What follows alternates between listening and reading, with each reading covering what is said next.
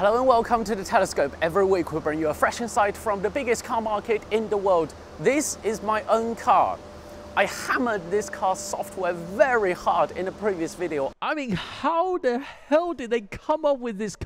I did a 20 minute rant on how could Volkswagen produce such a brilliantly car hardware wise and ended up with software that was as hopeless as it is. That video made its way onto DW and I have more than one friend who works in Wolfsburg and Munich telling me they've seen the video. That video was shot me sitting inside the studio using this telescope branded microphone, you remember?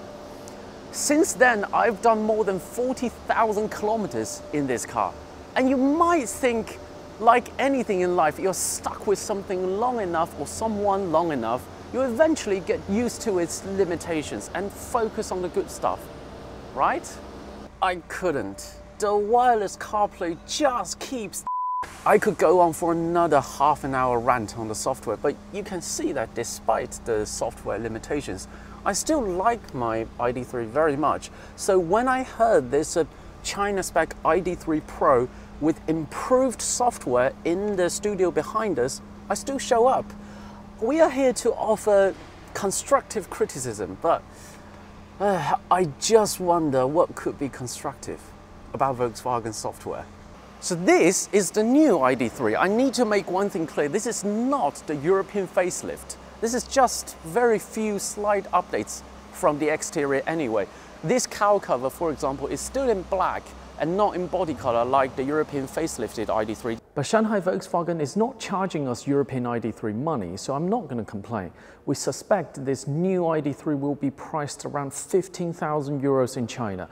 I know the ID3 sells about nearly 40,000 euros in Europe. My European viewers don't just explode. It's been like this for a while. I bought my ID3 Pro with the IQ Lite for about 20,000 euros back in 2022. So yeah, the price has been consistent for China, but I understand this price would be quite inflammatory for some European viewers. The only obvious change from the front is now this Volkswagen logo lights up. It doesn't on my old car. Now this doesn't bother me, but I know a lot of people is not happy about this logo doesn't light up on the ID3, while it does on the ID4. So yeah, from the front, if this logo lights up, then you know it's the new ID3. The major update, would you believe it, is the software. To be honest, this is the last area where I expect Volkswagen to improve. We showed you the Volkswagen Tiguan L Pro a while ago, and that car already has a very different looking infotainment software. So my expectation is for this ID3 Pro to get that software. But surprise, surprise, this is another step. Now this is the home screen. Let's just stop right here because just this home screen alone represents a monumental step forward. This was the home screen in my old ID3. Now look at this. Now the map is the underlying layer of this home screen. If I drag this map around, wow, now this is very responsive. This doesn't happen on my old ID3. Okay, I digress. If I drag this map around, you can see in these small gaps behind these elements, it really is moving around. So the map now is the true underlying layer of the home screen. And you have widget modules on the left I mean, really? Widget on a Volkswagen? Am I dreaming? If, I, if you haven't gone through 40,000 kilometers of software torturing like I did, you wouldn't understand how much of a shock this is. You have music, your phone connection, and a weather app. Wow. I mean, this is, dare I say, this looks quite modern. They have also vastly improved the voice command system. Now this is quite difficult to demonstrate in an English video, but let me put it this way. In my old ID3, I much prefer Siri to Volkswagen's own voice command. And let's be honest, Siri is quite rubbish in any language. Now on this, they've switched the natural language recognition engine behind the voice command to iFlytek or Keda Xunfei in Chinese. That is the model behind every modern Chinese EVs. So now this voice command can finally understand me consistently. 你好，大众。在。先打开座椅通风，再打开爱奇艺。Now, this in itself is a huge improvement because sometimes your phone could glitch. Wireless CarPlay is not always reliable and it's not always the system's fault. Sometimes your phone could glitch as well. You must have experienced like you think the navigation is still working. When you find out it's already stopped working, you've already passed a junction. And now you scramble to reset navigation. And because your phone has jammed, you need to restart your phone. It's a mess, right? You might wonder in that kind of scenario, why wouldn't I switch to the built in navigation? And that's the problem because the built in voice command could never ever understands me. Now, this can. To be honest, the navigation system, even in my old car, is quite good once you set the navigation because the underlying data of this navigation system is 高德地图. That is the most popular navigation map among the Chinese public. So now with this improved voice command, I can really see myself just using the built-in navigation all the time because this navigation also works with the IQ Lite if you go for the Pro model. And that is high praise for any car. I'm also hearing they might update the language engine behind this voice command in the future to large language model, LLM, the same architecture like ChatGPT. Of course, the model behind it is going to be much smaller, but still, AI in a Volkswagen? Really? And that's not the only AI feature in this car. Now you can replicate your own image and your own voice. Now, this is clearly not me because this is a female, but I've done the calibration process previously. Um, you just need to take a picture of yourself and we'll emulate what they think is closest to me. Now, this is, I don't think this look anything like me, but at least it's got glasses. Let's set this. So now the voice command on the top left corner is what Volkswagen think is me. Also, you can replicate your own voice. You need to read like 10 sentences.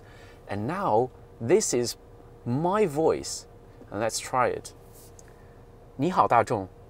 请说， Oh, this really is me. Um, 导航到人民广场.这有好多，选哪个尽管告诉我。 Wow, this really sounds vaguely like me. This this is much better than the emoji replication. While that's quite interesting, it's also quite creepy. Why would anyone want to replicate their own voice? But I can see some parents might want to replicate their kid's voice, and you might want to replicate your partner's voice. So when they are not physically with you in the car, they can still be with you virtually. The rest of the hardware is still the same ID3 that I like. Class-leading chassis dynamics, crazy maneuverability, and a lot of space. And I need to say one thing as an owner, the battery of this car holds up really well.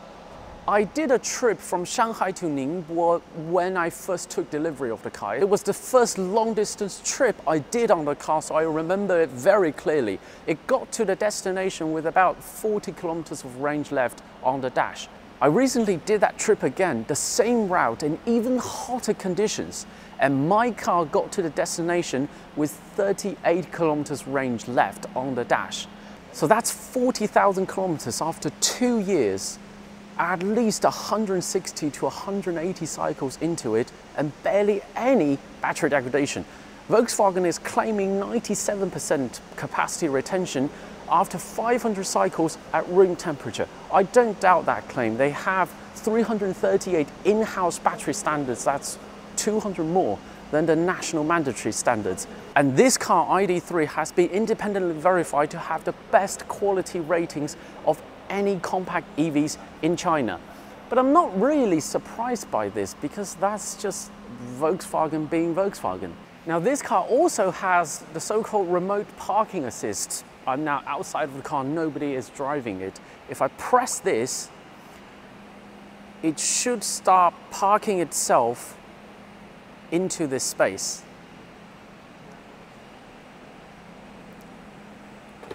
Now, I think this function is more for the bigger ID4 than it is for the smaller ID3. Because my suggestion is if you can't park a car as small and maneuverable as this, you might as well give up driving altogether. I strongly suggest that. This is one of the easiest cars to park on the market today.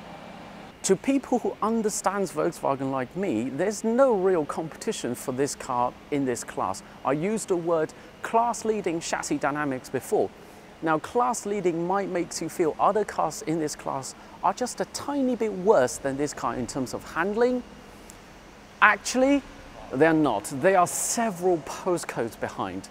My initial rant video on this car has a title like Brilliant Hardware Almost Ruined by Dismal Software.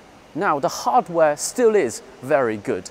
Now, dare I say, this is a modern Volkswagen, both in terms of hardware and now in software. That is all from the Telescope today. If you enjoyed this video, keep watching, keep subscribing. More videos coming along very soon.